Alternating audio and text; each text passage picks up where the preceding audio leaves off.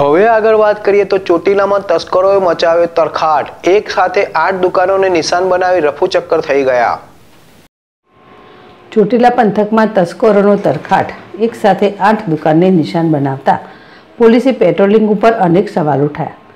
ચોટીલાના Anandpur road ઉપર આવેલા કોમ્પ્લેક્સમાં એકસાથે તસ્કરો દ્વારા રાત્રિના સમયે આઠ જેટલી દુકાનને નિશાન બનાવી હતી.